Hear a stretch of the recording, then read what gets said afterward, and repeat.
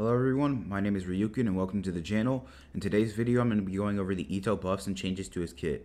Now before this video starts I want to give a thank you to the people at Honey Impact as well as the Wangsheng Funeral Parlor. Without them I wouldn't be able to make this video. So let's get into the video. Alright, starting with the normal text, if you take a look at the one hit damage at level 1, uh, it's at 63.96. And if you take a look at the post the post changes, it's 79.23. What this essentially allows you to do is the normal attack string just got increased damage. And I feel like the reason they did this is because they lowered the base attack on his new 5-star weapon that's coming alongside with him.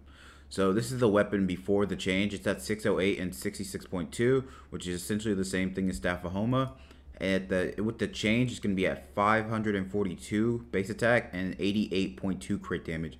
Now, that's an insane amount of crit damage.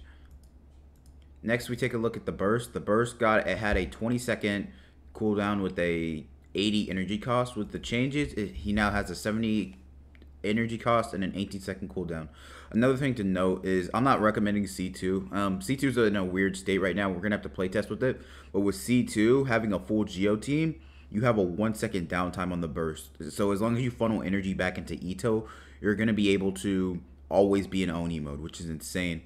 I think C2 might be just a tad bit overkill though because with this he has like a 7 second downtime which is the enough time to switch into your supports, do everything and then go into Itto. So the energy cost is a very big change to his kit. It's not major but it's to really you're really to feel the impact on it.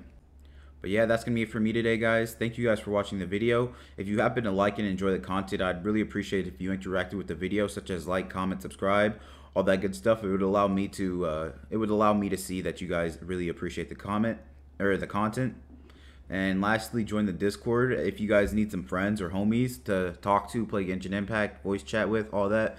We have a Discord down below. Uh, but that's to be it for me, guys. I thank you for watching, and I'll catch you guys in the next one. Later.